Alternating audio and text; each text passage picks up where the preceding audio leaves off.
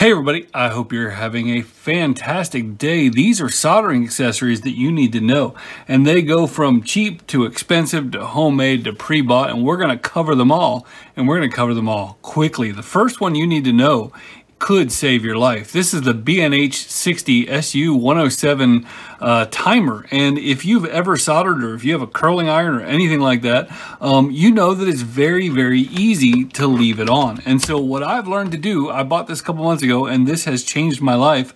I come over here and I push the button for the approximate amount of time that I'm going to solder and that will turn my soldering iron on for at most an hour. I have a cat, I have a, a, shop that's real easy to get distracted and walk away and forget that I left my soldering iron on even all night. And to know that this thing is going to turn itself off uh, is pretty awesome. And you can hit a button, turn it off. You can also repeat um, if you're in the middle of it and you want to reset that one hour timer. But this thing is about 10 bucks and it could save your life. Speaking of saving your life, you need a fume extractor. Now, this is one that I built myself that I don't know that I've ever actually shown off on the channel, but it has a 120 millimeter fan up front, a little place to plug the power, a little speed control that's a little crooked. And one thing I learned is that it is way better at filtering if I put the filter on the back and keep the fan unobstructed in the front. Now, as you can see, all kinds of stuff has gotten sucked into this that could have gotten sucked into my lungs. One of the other features I did, now again, I'm gonna have a link so you can buy one if you just want to be easy, but I put these quarter inch connectors on here and that allows me to take all these different accessories that I have and just put them in the front like this and so I can bend these things around and I've got a built-in solder holder. And one of the things that allows me to do is to keep the part directly in front of the fan while I'm working on it. So uh, whether you make one or buy one you need one. Next up this is another one that I DIY'd that you could absolutely buy if you want to but I took this foot long bolt right here and ran it through a couple of pieces of uh, MDF that I just glued up and I made my own solder holder. And so this allows me to just pick it up move it wherever I want it, and have my solder wherever I need it. And uh, if you're going to do something like this, I mean, there's a lot of ways to buy ones that'll do just one roll or maybe two rolls, but I like having them all in one place. So I can use my super tiny silver bearing solder. I can use my thicker solder that I use with the 100 watt guns or some of the other Kester stuff that I just use on a daily basis. But whether you buy it or make one, you definitely want a place to put your solder.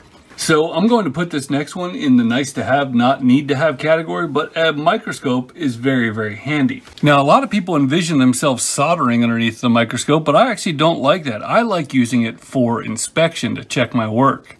There are models all over the place ranging from $50 up to $450. I'm going to link to some cheap ones which are probably good enough for 99% of the people, but I'll also put a couple if you're looking for a luxury gift. While I don't like soldering under the microscope, I do like soldering with these magnifying goggles. And uh, these things are relatively cheap on Amazon. As you can see, I permanently attached mine to a baseball cap backwards. And uh, that allows me to just take the thing on and off and not fiddle with this knob for adjusting, not worrying about it coming loose or anything like that. But um, it's got a light on it. It allows you to see in stereo, which you can't do with the uh, microscope. And it is just the ideal tool, in my opinion, for soldering. One of the things you need if you're going to solder is some flux. And one of the cool ways to dispense flux is with one of these little solder flux pens. And this allows you to just basically draw on the board and you get just a little bit of flux where you need it. Now, if you're looking for a different way to deploy flux, I also like this um, US Forge liquid flux. And I love these little bottles. Now I have all kinds of stuff in them. Vinegar, deoxit, silicone, uh, flux, and, and probably 10 more of them around my office. So you just take this liquid flux and you put it in here and you can distribute it one drop at a time. But whether you go with something like a Chip Quik pen or a US Forge little bottle here, you need flux for your projects. One soldering accessory that I absolutely could not live without is this solder mat, the S160. It's a 450 millimeter by 300 millimeter soldering mat. Silicone means you can just set the soldering iron right on the thing. Um, it protects my other work surface. There's magnets here that catch all kinds of little flying parts. There were little covers on these things, uh, but just all kinds of little part storage areas and magnetic areas and places to put your little resistors so you can put them in in order. And this is absolutely an essential soldering accessory. Now, some of the ones you can get them or not get them. You need one of these mats and they're not very expensive. You can get them off Amazon. I'll have a link in the description to the right one, uh, but just so much good use for something like this. Another thing that I consider pretty much essential are these little side cutters. And uh, these things are relatively cheap. Sometimes they're known by the P170, I think they're called. Uh, but I've switched over to these ones from Amazon because they're like 12, uh, $12 for five of them.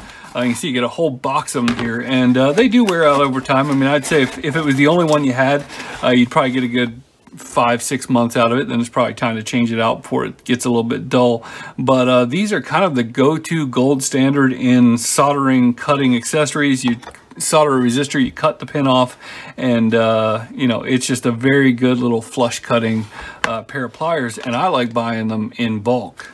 Speaking of cheap cutting implements, um, I've switched over to starting to use these Pros Kits CP301G um, wire strippers. Now, they are not the nicest wire strippers I have by a long margin, but they do very tiny wires. They do from 30 down to 20 gauge or up to 20 gauge, and uh, they're cheap. They're five bucks, Amazon Prime. You can just throw them onto another order you already have. Again, not the best strippers in the bunch, but they are um, really cheap and really accessible. And they're the type of thing that you switch out once a year, but you always have a, a sharp set of, uh, of strippers. And I mean, I dull my Kleins all the time. I basically was replacing those once a year anyway. So to have something like this, I can keep over the soldering station. It locks, a little place to hang it, a little place to bend the wire. Uh, not the most comfortable, not the highest quality, but definitely the cheapest.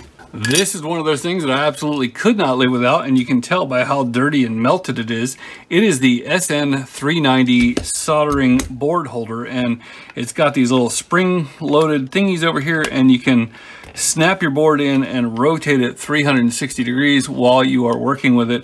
Um, it's adjustable in several different directions to allow you to get the board into a comfortable position so that you can solder safely. Um, it's very dangerous to sit there and try to hold the board while you're doing it. You melt stuff. Um, this is just a great, more comfortable way to do it. Um, now, I mean, obviously it is possible for the clips here to get in the way of things, but for the most part, there's always a way to turn the board and orient it to where you're not trying to grip the part that you're trying to work on. So this is the SN390 soldering board holder. So a good connection is a clean connection and one of the ways to make sure that you have a clean connection is to make sure the tip of your iron is clean. And one of my favorite ways to do that is with this little copper stuff here. Um, this thing is relatively cheap. I think you can get it for like five bucks. Um, and you just jam the tip in there and you can already see how much clearer and cleaner the tip is um, compared to what it was. And then beyond that, uh, my second way to do it is this stuff called Tip Refresher, and it's by a company called Mechanic. Um, I've had this for probably two years, and you can see that's all I've used. Um, but it looks like this, this Mechanic uh, brand tip refresher. And the idea is when you're done using your tip, you clean it and put it away. And it's just a good way to store it and keep the oxidation off the tip and uh, make sure that it lasts as long as possible. If you find yourself soldering, you will find yourself using heat shrink. And one of the things I like for heat shrink is a little heat gun. And I kind of like this little portable one. I've had one of the ones that was attached to the soldering station. Didn't particularly love it. Um, I really like this tip because what it allows you to do is to put your part in there and it deflects the heat back around so you can actually get the uh, um, heat shrink shrunk on all sides at once. It's portable. It's relatively quiet.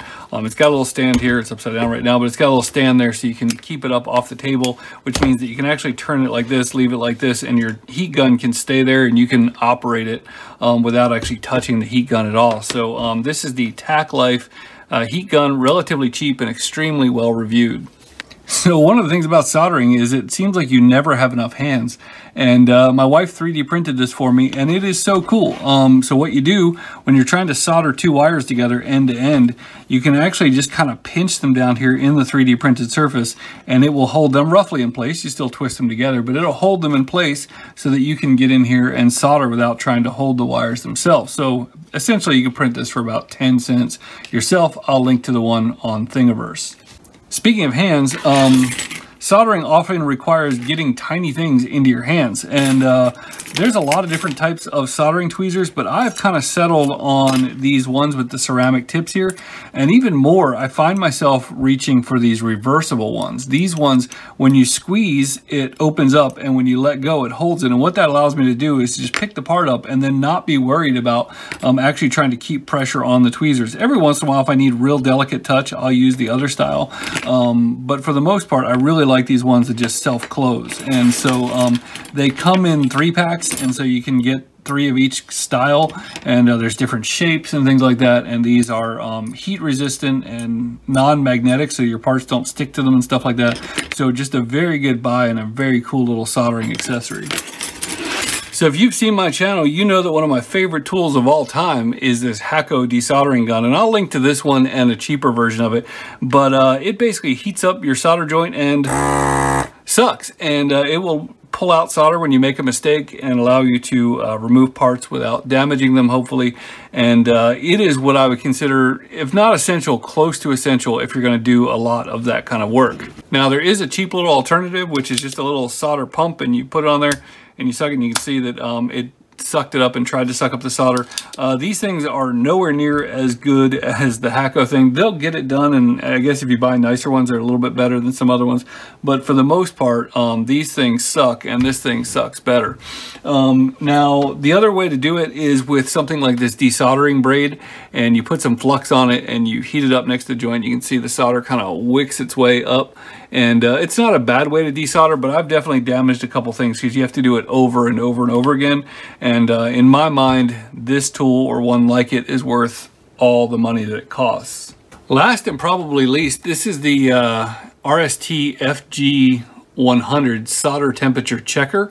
And uh, the idea with this is normally you'd heat it up and put some uh, solder on there, but you put the tip of the soldering iron on that little wire thingy and as it goes up it tells you the temperature of your iron. And it's just a decent way to check to make sure that your iron is putting out uh, what it's supposed to. It uses these little replaceable thermocouples here. Having a hard time getting that in focus. Um, it's cool. I mean you probably don't need it but if you're looking for a gift for somebody who does a lot of soldering somebody who kind of has everything it's kind of a fun little add-on for somebody who already has everything so Anyway, what did I miss? Do you have any soldering accessories that you love? Um, are there anything that I recommended that you hate? Let me know in the comments. I'll have links for everything. And hey, thanks for watching.